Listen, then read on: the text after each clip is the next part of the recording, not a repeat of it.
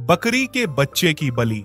चौधरी गाँव का बहुत ही बड़ा और अमीर आदमी था। उसकी शादी को पंद्रह साल हो गए थे। लेकिन अभी तक उसके घर में कोई संतान नहीं थी। संतान के लिए उसकी पत्नी और चौधरी बहुत तरसते थे। बहुत से लोगों ने उन्हें सुझाव दिया था कि वो बच्चे को गोद ले लें, लेकिन वो इस बात के लिए राज़ी ही नहीं थे। वो चाहता था कि अपनी ही संतान हो।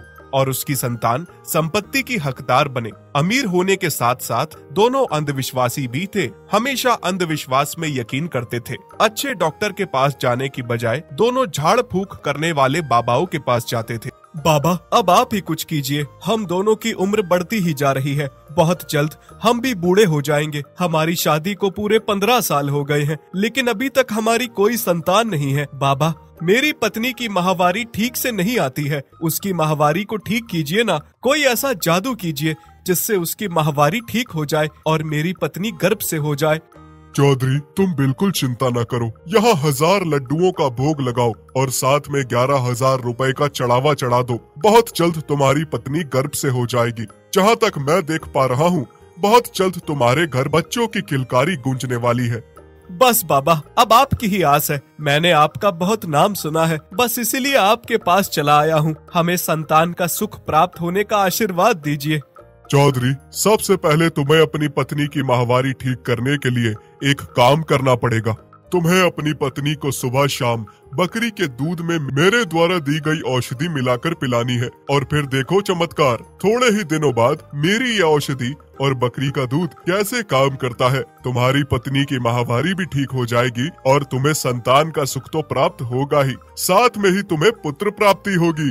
झाड़ फूक वाले बाबा की यह बातें सुनकर चौधरी और उसकी पत्नी दोनों खुश हो जाते हैं और वहाँ पर एक हज़ार लड्डू और ग्यारह हज़ार रूपए का चढ़ावा चढ़ा देते हैं और खुशी खुशी घर वापस आ जाते हैं। अब चौधरी को बकरी के दूध की तलाश थी, लेकिन पूरे गाँव में सिर्फ़ और सिर्फ़ कमल के घर में ही बकरी थी। चौधरी के आदमी कहते हैं कि वो कमल के घर बकरी के दूध के लिए बात करने जाएँगे, लेकिन चौधरी उनसे कहता है, नहीं, मैं खुद कमल के घर अपनी पत्नी के लिए उसकी बकरी का दूध लेने जाऊँगा। बेटा, क्या तुम दोनों अंधविश्वास में अटके हो? इतने साल हो गए तुम दोनों की शादी को। तब से लेकर आज तक तुम कितने झाड़ फूक वाले बाबाओं के पास गए हो। लेकिन आज तक उसका कुछ हल ही नहीं निकला। मैं तो कहती हूँ, इस अंधविश्वास से बाहर निकलकर किसी अच्छे से डॉक्टर के पास चला जा। बहुत जल्द बच्चा हो जाएगा। माँ, तुम चुप रहो। तुम इस बारे में नहीं जानती हो। बस देखती जाओ। महाराज जी ने हमें कहा है कि बहुत जल्द हमें पुत्र प्राप्ति होगी। बस, अब पोते को अपनी गोद में खिलाने के लिए तैयार हो जाओ। हम्म। राम तोबा राम तोबा, न जाने कब सुधरेगा ये चौधरी और इसकी बहू। कितने सालों से समझाए जा रही हूँ। न जाने कौन सा ऐसा दिन होगा जब ये इस बात को समझेंगे और किसी अच्छे डॉक्टर के पास जाकर उपचार करवाएँगे। कमल एक बहुत ही शराबी और आलसी किस्म का इंसान था। काम में भी उसका जरा भी मन नहीं लगता था। पत्नी की कमाई से खाना खाता और उसकी ही कमाई से शराब भी पीना चाहता था। वो अपनी पत्नी और बेटी को बहुत ही तंग करता था। कमल की एक पंद्रह साल की बेटी थी, जो दसवीं कक्षा में पढ़ती थी। कमल की पत्नी दिहाड़ी मजदूरी करती थी और साथ में उसने एक माही नाम की बकरी रखी थी। माही बहुत अच्छा दूध देती थी। माही का एक छोटा सा काले रंग का बच्चा था। कमल की पत्नी और बेटी, माही और उसके बच्चे से बहुत ज़्यादा प्रेम करती थी। माही और उसके बच्चे को दोनों माँ बेटी ने अपने घर की सदस्य की तरह रखा हुआ था। कमल की पत्नी मजदूरी करके आती और घर जाकर माही और उसके बच्चे की सेवा में लग जाती। वहीं कमल की बेटी रिंकी भी स्कूल से बस घर जाने का इंतज़ार करती कि कब छुट्टी हो और घर जाकर वो अपनी माही और उसके बच्चे के साथ समय बिताए। भाई कमल, क्या मैं अंदर आ सकता हूँ? अरे चौधरी साहब, आप आइए ना, अंदर आइए। चौधरी कमल को सारी बात बताता है कि उसे अपनी पत्नी के लिए उसकी बकरी का हर रोज सुबह शाम दूध चाहिए और वो बकरी के दूध का मार्केट से ज़्यादा डबल भाव के पैसे देगा। पैसे की बात सुनकर कमल तो बहुत ही खुश हो जाता है और वो चौधरी को दूध देने के लिए हाँ कर देता है। वही कमल की पत्नी उससे कहती है, चौधरी साहब, हमारी मही इतना भी दूध नहीं देती कि हम उसके दूध को बेच सके। हमारी मही बस इतना ही दूध देती है, जिसमें मेरी बेटी रिंकी का गुजारा होता है। मेरी बेटी स्कूल जाती है तो उसे दूध की बहुत ज़रूरत है। मैं चाहती हूँ मेरी रिंकी बेटी खूब पढ़े लिखे और मही का दूध बहुत अच्छा है। इसलिए मैं उसे सुबह शाम उसका दूध पिलाती हूँ। शीला, तुम एक औरत का दर्द नहीं समझोगी क्या? मेरी माहवारी सही से नहीं चलती है। इस वजह से महाराज जी ने मुझसे कहा है कि अगर मैं बकरी का दूध सुबह शाम पीऊँगी तो मेरी माहवारी सही से आने लगेगी। और बहुत जल्द मुझे बच्चा भी हो जाएगा। क्या तुम मेरे इस दर्द को समझकर मुझे बकरी का दूध नहीं दोगी? लेकिन अगर आपकी माहवारी सही से नहीं आ रही है तो आपको डॉक्टर के पास जाना चाहिए। इसका इलाज तो डॉक्टर के पास ही होता है।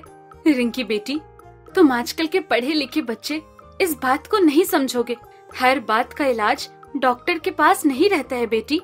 ठीक है, अगर आपको लगता है कि इससे आपकी माहवारी ठीक हो जाएगी और आपको संतान प्राप्ति होगी तो मैं अपनी बेटी के हिस्से में से थोड़ा सा दूध आपको देने के लिए तैयार हूँ। यह सुनकर चौधरी और उसकी पत्नी बहुत खुश हो जाते फिर हर रोज चौधरी का एक आदमी कमल के घर से बकरी का दूध ले जाता है और चौधरी बाबा द्वारा दी गई औषधि को दूध में मिलाकर अपनी पत्नी को पिला देता है। चौधरी से दूध के बदले मिलने वाले पैसे कमल अपनी पत्नी से ज़ोर ज़बरदस्ती छीन लेता है। बहुत दिनों तक दूध पीने से भी चौधरी की पत्नी की माहवारी ठीक नहीं होती और न ही वो गर्भवती होती है। दोनों फिर से उसी झाड़ फूक वाले बाबा के पास जाते हैं और उसे सारी बात बताते हैं। चौधरी, तुम्हारी पत्नी पर बहुत बुरी आत्मा का साया है। वो आत्मा नहीं चाहती कि तुम्हारे घर में संतान हो। इतने सालों से उसने तुम्हारी पत्नी के शरीर पर कब्जा जमाया है। तभी तो मेरी औषधि और बकरी के दूध ने काम नहीं किया है, अब इसका एक ही आखिरी रास्ता बचा है। महाराज जी, अगर इसका कोई आखिरी रास्ता भी है तो हम वो भी करने के लिए तैयार हैं। आप जो कहेंगे, हम वो करेंगे। बाबा चौधरी और उसकी पत्नी को बताता है कि उसकी पत्नी से आत्मा का साया उतारने के लिए एक बकरी के बच्चे की बलि चाहिए और उस बच्चे का रंग काला होना चाहिए। चौधरी चिंता में आ गया था। कि वो बकरी का काला बच्चा बलि के लिए कहाँ से लाए? तभी चौधरी का एक आदमी चौधरी को बताता है कि कमल के घर में जो बकरी का बच्चा है, उसके बच्चे का रंग भी काला है तो उसकी बलि चढ़ाई जा सकती है। यह सुनकर चौधरी और उसकी पत्नी बहुत खुश हो जाते हैं। फिर चौधरी कमल के पास उसकी बकरी के बच्चे की बलि चढ़ाने की बात करने आता है। कमल, ये बकरी का बच्चा हमें दे दो। इसके बदले मैं तुम्हें मुँह मांगी कीमत देने को तैयार हूँ। हाँ हाँ चौधरी साहब। आप ले जाइए बच्चा। भला एक इंसान इंसान के काम नहीं आएगा तो क्या फ़ायदा? बस, आप इस बकरी के बच्चे के बदले मुझे अच्छा दाम दीजिएगा। हम्म। कुछ तो शर्म करो। इतना गिर जाओगे, मैंने ये कभी सोचा भी नहीं था। पैसों के लिए तुम एक छोटे से बच्चे की बलि चढ़ाओगे। शर्म आनी चाहिए तुम्हें। शुक्र करो कि तुम्हारी बेटी रिंकी यहाँ पर नहीं है। वो स्कूल गई है, नहीं तो उसकी नज़रों में तुम आज गिर ही जाते। माफ़ कीजिएगा चौधरी साहब, आप बहुत बड़े अंधविश्वास में फंसे हुए हैं। उस दिन मैंने दूध देने के लिए आपको मना नहीं किया, इसलिए कि शायद मही के दूध से आपकी पत्नी को बच्चा हो जाए। लेकिन आज आप एक छोटे से बच्चे की बलि चढ़ाने के लिए हमें पैसों का लालच दे रहे हैं। मेहरबानी करके आप यहाँ से चले जाइए। चौधरी और उसकी पत्नी वहाँ से जैसे ही बाहर निकलते हैं, कमल मौका पाते ही उनके पीछे पीछे आता है। और उन्हें कहता है कि जब उसकी पत्नी दिहाड़ी मजदूरी लगाने जाएगी और उसकी बेटी रिंकी स्कूल जाएगी, तब वो बकरी का बच्चा उन्हें पहुँचा देगा। लेकिन उसके बदले में वो उसे मुँह मांगे पैसे दे। ये बात कमल के मुँह से सुनकर चौधरी और उसकी पत्नी बहुत खुश हो जाते हैं और उसे मुँह मांगी रकम दे देते हैं। कमल, पैसे तो तुम्हें मुँह मांगे मिल गए हैं, लेकिन याद रखना, ठीक बारह बजे बकरी के इस काले बच्चे की बलि चढ़ेगी तो तुम्हें ठीक समय पर बच्चा ले आना है। अगली सुबह कमल पत्नी और बेटी के घर से निकलते ही बकरी के बच्चे को वहाँ से उठाकर ले जाता है। चौधरी को दे आता है। मालिक मालिक कहाँ ले जा रहे हैं? आप मेरे बच्चे को छोड़ दीजिए। वो बहुत छोटा है। मालिक वो मेरे दूध के बिना नहीं रह सकता। माँ माँ मुझे तुम्हें छोड़कर नहीं जाना है माँ। मुझे मालिक पता नहीं कहाँ ले जा रहे हैं। कमल बेरहम होकर एक माँ से बच्चे को अलग करके चौधरी के पास पहुँचा आता है। जब कमल की पत्नी और बेटी घर आती हैं और देखती हैं कि माही के साथ उसका बच्चा नहीं है और माही बहुत रो रही है। मही तुम क्यों रो रही हो? और तुम्हारा बच्चा कहाँ है? मालकिन मालिक मेरे छोटे से बच्चे को उठा कर ले गए हैं। न जाने मेरे छोटे से बच्चे के साथ क्या हुआ होगा। मालकिन मेरे बच्चे को बचा लीजिए। माँ पिताजी ज़रूर बच्चे को लेकर चौधरी के घर गए होंगे। इससे पहले कि कोई अनहोनी हो जाए, हमें जल्दी से वहाँ पहुँचना होगा। मही, तुम चिंता न करो, हम तुम्हारे बच्चे को सही सलामत वापस लेकर आएँगे। जैसे ही वो ढोंगी झाड़ फूक वाला बाबा बच्चे की बलि चढ़ाने वाला होता है, कि तभी कमल की पत्नी और बेटी पुलिस को लेकर वहाँ पहुँच जाते हैं। गिरफ़्तार कर लीजिए दरोगा साहब। इन सभी अंधविश्वासियों को और साथ में मेरे पति को भी, जो इतना बेरहम है, जिसने एक छोटे से बच्चे को एक माँ से अलग करके चंद पैसों के लिए किसी को बलि चढ़ाने के लिए बच्चे को बेच दिया। चलो, तुम सबको मैं गिरफ़्तार कर रहा हूँ, और तुम सबको इस चीज़ के लिए कड़ी से कड़ी सजा मिलेगी। दरोगा जी, हम कोई गलत काम नहीं कर रहे हैं। और ये बकरी का बच्चा मैंने इस कमल से मुँह मांगी कीमत देकर खरीदा है। अब मैं इस बच्चे की बलि चढ़ाऊं, या इसके साथ कुछ भी करूँ, मुझे कोई नहीं रोक सकता। शर्म आनी चाहिए चौधरी जी आपको। आज के जमाने में रहकर आप ऐसी अंधविश्वासी बातों पर यकीन करते हैं, और इन ढोंगी, झाड़ फूक वालों में यकीन रखते हैं। जो आपको बेवकूफ़ बनाकर लाखों रुपए लूट रहे हैं। पंद्रह साल से आपको औलाद नहीं हुई। जानते हैं क्यों? इसी वजह से, क्योंकि आप अंधविश्वास में अटके हुए हैं। अगर आज तक आपने अपनी पत्नी का डॉक्टर से उपचार करवाया होता तो आपकी पत्नी की माहवारी का सर्कल भी ठीक हो जाता। समय से उसे माहवारी आती। डॉक्टर आपकी पत्नी की कुछ जाँच करवाते। उसके बाद अच्छे से उपचार होता।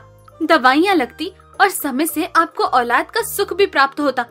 अंधविश्वास के चलते किसी मासूम दूध पीते बच्चे को उसकी माँ से अलग करके बलि चढ़ा देते हो। और बाबा, आप आप तो आज मेरी नज़रों में गिर गए हो। अब आप मेरे बाप कहलाने के लायक नहीं हो। धिक्कार है आप सभी लोगों पर। रिंकी की यह बातें सुनकर सबकी गर्दन झुक जाती है। सब शर्मिंदा हो जाते हैं। चौधरी और उसकी पत्नी भी रिंकी की बात को समझ जाते हैं और शर्मिंदा होकर उनसे माफ़ी मांगते हैं।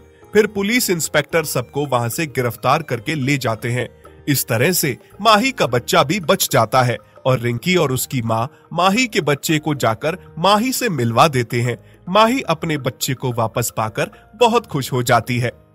नंदू के घर में एक काले रंग की बकरी है, जिसका नाम मही है। उसके दो छोटे छोटे बच्चे थे, जो बड़े ही चुलबुले थे। नंदू की बेटी उन बच्चों के साथ खूब मस्ती करती थी, पर नंदू बहुत ही गरीब था। उसके पास इतने पैसे नहीं होते कि वो अपने परिवार को अच्छा खाना पीना खिला सके। रूखा सूखा ही सही, पर अपने परिवार को एक समय का खाना खिला ही लेता था वो। इस बात से उसकी पत्नी उससे हमेशा चिड़ी रहती थी कि वो उन्हें अच्छा खाना नहीं खिला पाता।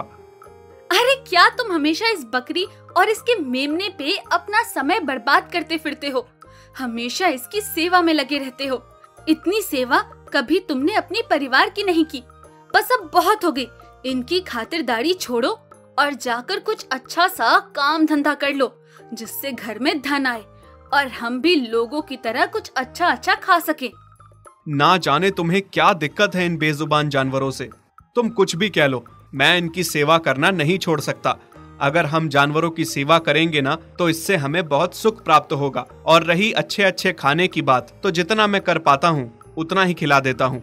और भाग्यवान, तुम चिंता ना करो धीरे धीरे सब ठीक हो जाएगा। हमारा भी समय बदलेगा। नंदू और उसकी बेटी को मही और उसके बच्चों से बहुत प्यार था, पर उसकी बीवी को मही एक आँख भी नहीं सुहाती थी। फिर एक दिन की बात है, नंदू की बीवी खेत जा रही थी। कि तभी उसे पड़ोसी के घर से खाने की अच्छी अच्छी खुशबू आने लगी और वो रुक के खुशबू लेने लगती है। आहा, पड़ोसी के घर से कितनी अच्छी खुशबू आ रही है खाने की। कैसी किस्मत पाई है मैंने। कभी भी अच्छा खाना नहीं मिला खाने को। भगवान ऐसा निकम्मा पति किसी को भी ना दे, जो अपनी बीवी को अच्छा खाना भी ना खिला पाए। ऐसा करती हूँ, थोड़ी देर यही रुक के खुशबू सूंघ लेती हूँ। नंदू की पत्नी वहीं बैठ के खाने की खुशबू लेने लगती है। तभी अमीर पड़ोसी बाहर आता है और उस पे खूब चिल्लाता है। तुम क्या मेरे घर की ताका झाकी कर रही हो? चोरी करने का तो नहीं सोच रही हो ना?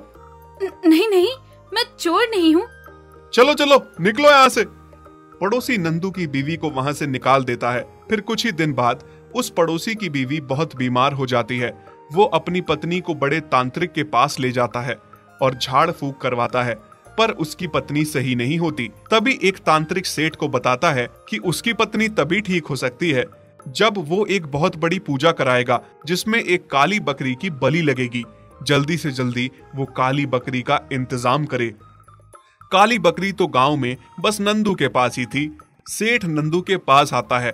क्या मैं अंदर आ सकता हूँ? हाँ हाँ सेठ जी आ, आ जाइए। पर आज हम गरीबों के घर में कैसे आना हुआ? आप तो हम जैसे लोगों की तरफ़ देखना भी पसंद नहीं करते। वो नंदू मेरी बीवी बहुत बीमार है। तांत्रिक बाबा ने कहा है कि मेरी बीवी तभी ठीक होगी जब काली बकरी की बलि लगेगी। और मेरी नज़र में तो सिर्फ़ तुम्हारे पास ही काली बकरी है। मैं तुम्हारे आगे हाथ जोड़ता हूँ। मेरी मदद करो। मैं तुम्हें खूब सारे पैसे दूँगा पर वो बकरी मुझे दे दो। नहीं बाबा हम अपनी मही को किसी को नहीं देंगे।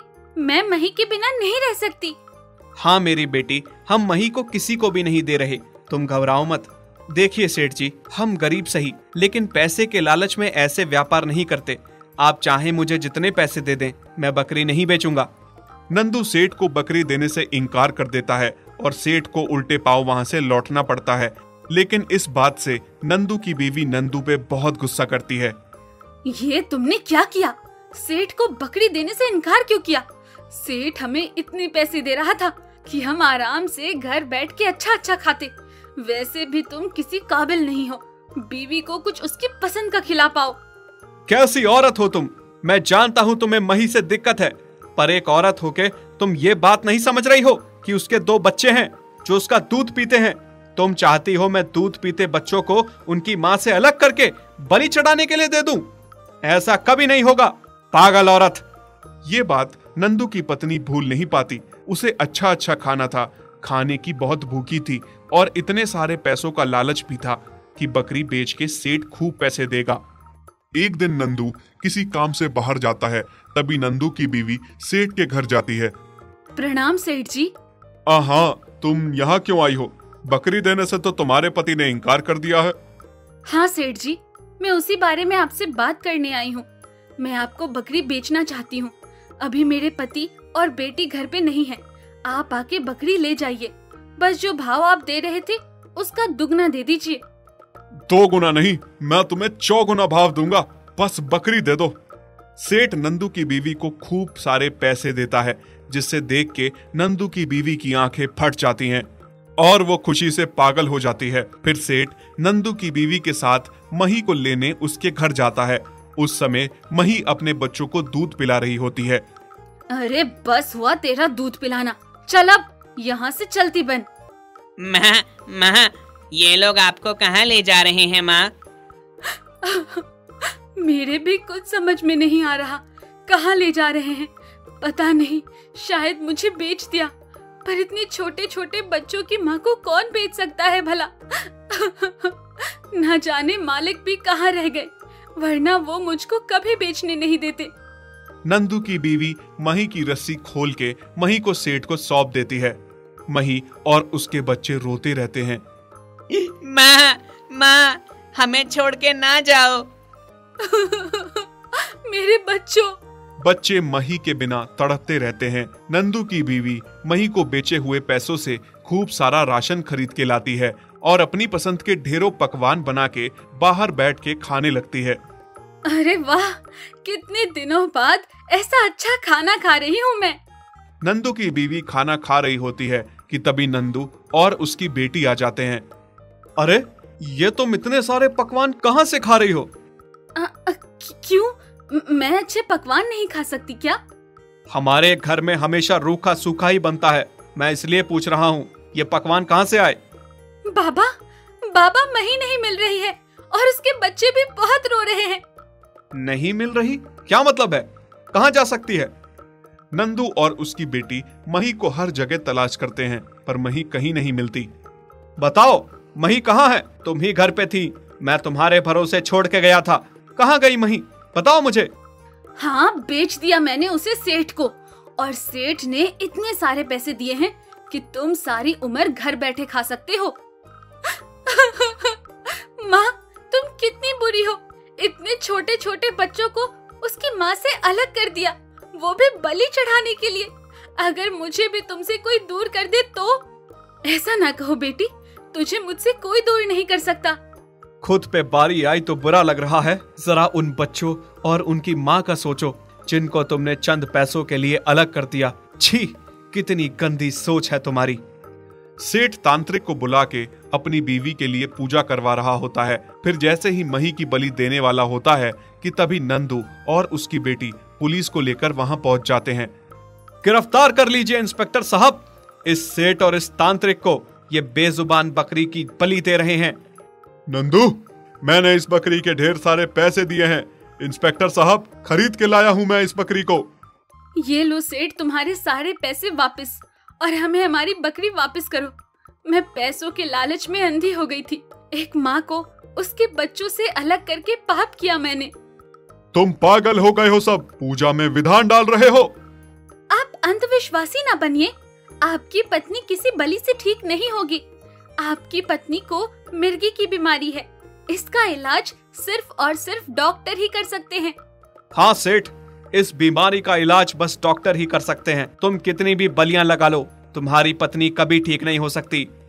सेठ, तुम्हारी पत्नी कैसे ठीक होगी? जब तुम दूध पीने वाले बच्चों से उनकी माँ को छीन के उसकी बलि लगाओगे, अंधविश्वास से बाहर निकलो और अच्छे से डॉक्टर से अपनी बीवी का इलाज करवाओ। सबकी बात का सेठ पर असर होता है और वो बहुत शर्मिंदा होता है। कितना गलत करने जा रहा था मैं आज। अगर आप लोगों ने सही समय पर आकर मुझे नहीं रोका होता तो मेरे हाथों से कितना बड़ा पाप हो जाता। अंधविश्वास में डूब गया था मैं। कोई सही राह दिखाने वाला नहीं था। अब मुझे समझ में आ गया है कि मुझे अपनी पत्नी का इलाज कैसे करवाना है। ये लीजिए, आप इस बकरी को इसके बच्चों के पास ले जाइए। नंदू मही को घर ले आता है। और बच्चे अपनी माँ को देख के बहुत खुश हो जाते हैं। इसके बाद नंदू की बीवी भी सुधर जाती है और फिर नंदू और उसकी बेटी की तरह मही और उसके बच्चों की खूब सेवा करती है। यदि आप ऐसी कहानियाँ और देखना चाहते हैं तो हमारे चैनल को सब्सक्राइब करें और बेल आइकन पर क्लिक करें, ताकि हमारी सारी नई वीडियोस आप सबसे पहले देख सकें।